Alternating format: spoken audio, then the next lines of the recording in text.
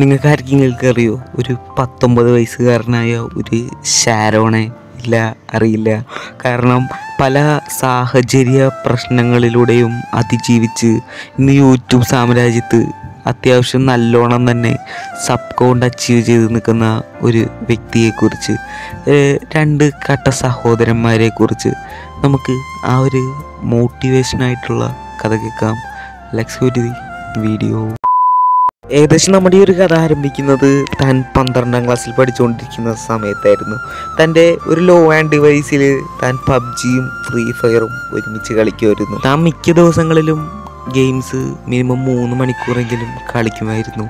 അതിൽ രണ്ട് മണിക്കൂറും താൻ ഫ്രീ ഫയർ എന്ന് പറഞ്ഞ ആ ഒരു ഗെയിം തന്നെയാണ് കളിച്ചുകൊണ്ടിരുന്നത്.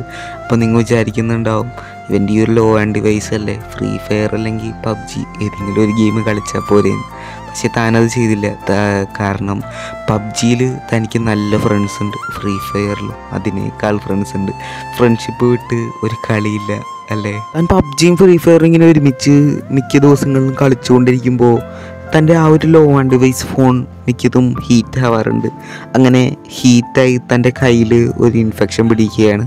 അത് കണ്ട് സഹിക്കാതെ തന്റെ പ്ലസ് ടു കാലഘട്ടം കഴിഞ്ഞ് തന്റെ അമ്മ തനിക്കൊരു ഹീറ്റാവാത്ത നല്ലൊരു മൊബൈൽ ഫോൺ നല്ലൊരു ഗെയിമിംഗ് മൊബൈൽ ഫോൺ തന്നെ അവിടെ വാങ്ങി കൊടുക്കുകയാണ്.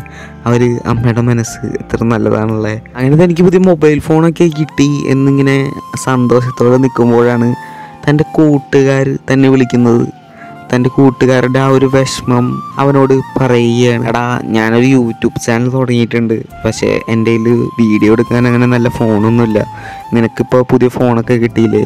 നിനക്ക് പറ്റുകയാണെങ്കിൽ ഞങ്ങളുടെ ഒപ്പം ഒന്ന് ചേർന്ന് ക്യാമറമാൻ ആവാൻ പറ്റുമോ? വീഡിയോസൊക്കെ ഒന്ന് എഡിറ്റ് ചെയ്ത് തരുമോ എന്നിട്ട് നീ ഞങ്ങൾക്ക് സെൻഡ് ചെയ്താൽ മതി. ഞങ്ങത് ഡയറക്റ്റ് യൂട്യൂബിൽ അപ്ലോഡ് ചെയ്തോളാം. ഫ്രണ്ട്ഷിപ്പിനപ്പുറം മറ്റൊന്നുമില്ലല്ലോ. താൻ അവരുടെ വാക്കും കേട്ട് അവരോടൊപ്പം അങ്ങനെ ഒത്തിരി ദിവസം രാവും പകലും ഇല്ലാതെ വീഡിയോസുകൾ അവർക്ക് എഡിറ്റ് ചെയ്ത് അവർക്ക് സെൻഡ് ചെയ്ത് കൊടുത്ത്.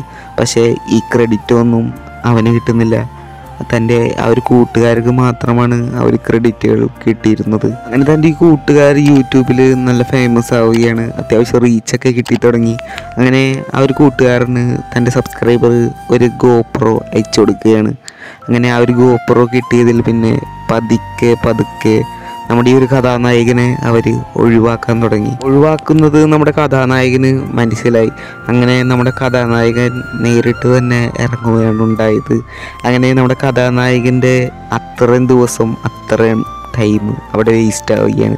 എന്നാൽ താൻ അവിടെ ഒന്നും തളരാതെ തനിക്ക് വേണ്ടി താൻ തന്നിൽ വിശ്വാസമുണ്ടെന്ന് പറഞ്ഞുകൊണ്ട് ഒരു ചാനൽ അവിടെ ക്രിയേറ്റ് ചെയ്യുകയാണ്. അങ്ങനെ താൻ രാവും പകലൊന്നും ഇല്ലാതെ കഷ്ടപ്പെട്ട് ഏകദേശം ഒരു മാസം കൊണ്ട് താൻ എട്ട് സബ്സ്ക്രൈബേഴ്സ് അവിടെ നേടുകയാണ്.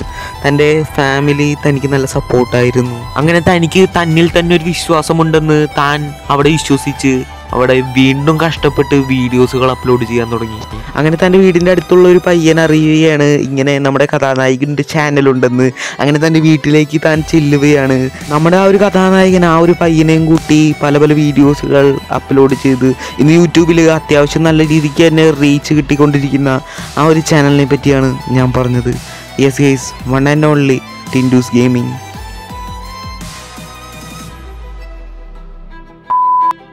ഈ ഒരു വീഡിയോയിലൂടെ നിങ്ങൾക്ക് ഒരു കാര്യം മനസ്സിലായേക്കാം. കാരണം കഷ്ടപ്പെട്ട് കഴിഞ്ഞാൽ നമ്മുടെ ലൈഫിൽ നേടാൻ പറ്റാത്തതായിട്ട് ഒന്നുമില്ല. ജസ്റ്റ് ഈ വീഡിയോ ഇഷ്ടപ്പെട്ടാൽ ജസ്റ്റ് ഒന്ന് ലൈക്ക് അടിക്കുക. നമ്മുടെ ചാനലും കൂടി ഒന്ന് സബ്സ്ക്രൈബും കൂടി ചെയ്ത് വെച്ചേക്കുക. നമ്മുടെ ചാനൽ റോഡ് ടു ഫിഫ്റ്റിക്കാണ് അപ്പോൾ ഇന്നും പറയുന്നത് പോലെ ഇറ്റ്സ് മീ എ ആർ ആരോ വൈ ടി സൈനിങ് ഔട്ട്